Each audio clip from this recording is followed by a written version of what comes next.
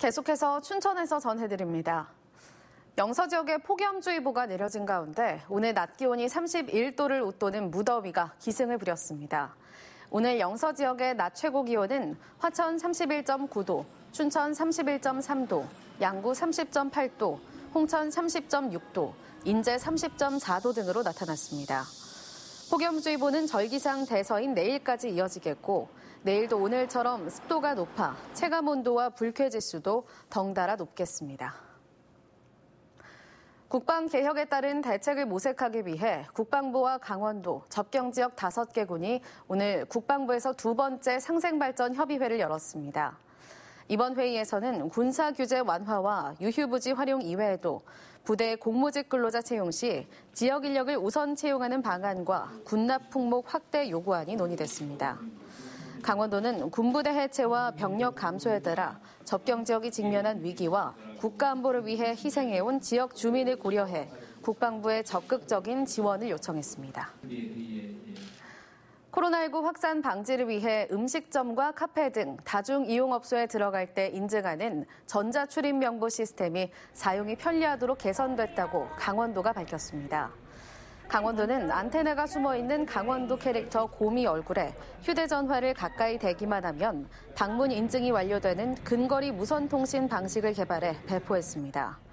강원도는 정부에서 추진하는 전자출입 명부와 별도로 도내에서는 도가 자체 개발한 클린 강원 패스포트를 보급할 방침입니다.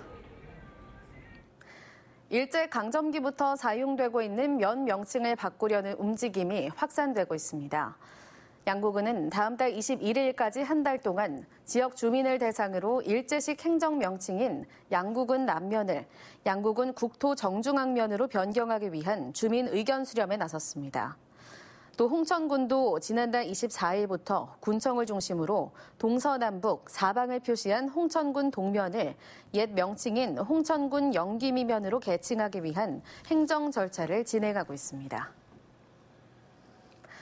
그동안 사각지대에 놓여있던 장애인 가족을 지원하는 시설이 춘천에 처음 마련됐습니다.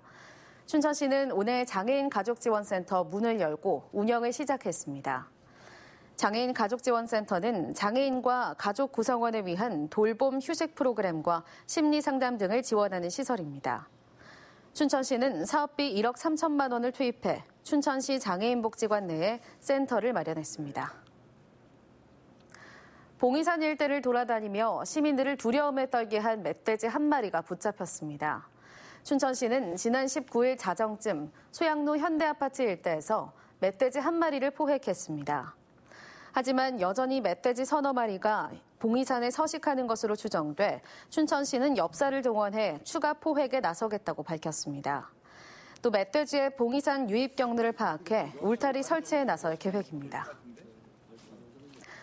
동물보호단체가 화천 산천어 축제와 관련해 화천 군수와 나라축제위원회를 상대로 제기한 동물보호법 위반에 대해 검찰이 항고를 기각했습니다. 서울고검 춘천지부는 결정문에서 지난달 춘천지검의 불기소 처분이 부당하다고 인정할 자료를 발견할 수 없다며 7개 동물보호단체가 제기한 항고를 기각했습니다. 이에 대해 화천군은 검찰의 상식적인 판단에 감사하며 산천어 축제와 화천 군민의 자존심을 향한 흠집내기식 비난이 근절되길 바란다고 밝혔습니다. 시멘트 공장 주변에서 분진에 장기간 노출되면 폐기능이 감소하지 않더라도 기관지에 악영향을 줄 수 있다는 연구 결과가 나왔습니다.